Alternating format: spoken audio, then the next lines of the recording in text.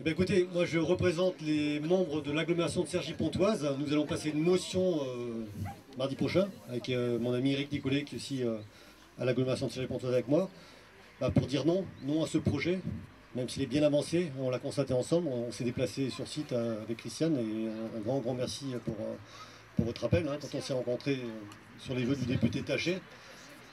Et la motion va être simple, hein, on va s'opposer à ça, et bien sûr avec nos mots, et essayant de toucher un maximum de personnes, euh, les sénateurs, les sénatrices, sénateurs, euh, députés, il euh, faut que ça remonte en fait, et que tout le monde participe à, cet ouvrage et, dise non à ce projet hein, qui malheureusement va, nous impacter nous sur, sur l'agglomération de Cergy-Pontoise. Hein. Les maires du Val d'Oise ne sont pas tous présents aujourd'hui, je leur, je leur ai dit que je venais, donc je les représente.